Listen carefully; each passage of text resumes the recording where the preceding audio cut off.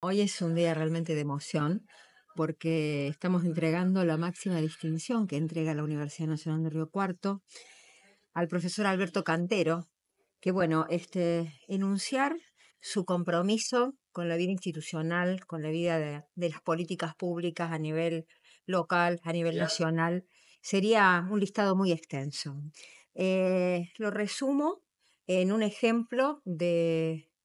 de lucha, en un ejemplo de trabajo, eh, en una persona que se comprometió con todas las aristas institucionales, eh, no solamente por el rol que llegó a cumplir, sino también, este, bueno, como docente, como investigador, y por supuesto trascendiendo las fronteras eh, de nuestra casa de estudios para también ser el intendente de la ciudad,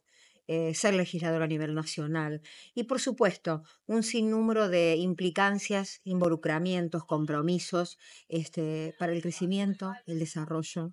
de nuestra ciudad de nuestra región y de nuestro país. Y la posibilidad, previo al acto, de compartir un momento allí con su familia incluso. Sí, sí, sí. Su esposa también nos acompañaron decanos, decana, vicedecana. Este, así que fue un momento también muy distendido este, y bueno, de compartir ese, ese café con, con emoción este, tiene un gran valor, un gran significado este, institucional.